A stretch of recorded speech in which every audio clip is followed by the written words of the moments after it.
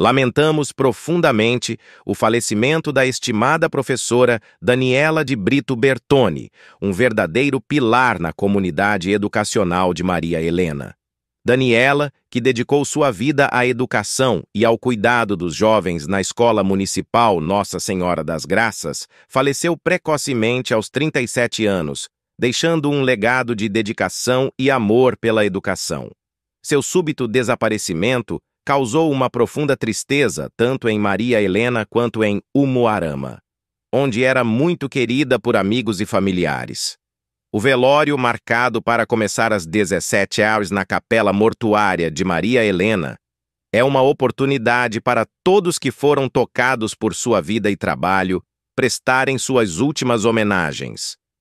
O sepultamento está agendado para as 9 horas da manhã seguinte, no cemitério de Umuarama a Prefeitura de Maria Helena emitiu uma nota tocante, enaltecendo a memória de Daniela como uma professora exemplar e uma servidora incansavelmente dedicada. Ela será lembrada não apenas por seu compromisso com a educação, mas também por sua paixão em inspirar e enriquecer a vida de seus alunos. Neste momento de dor, estendemos nossas mais sinceras condolências a família e amigos de Daniela.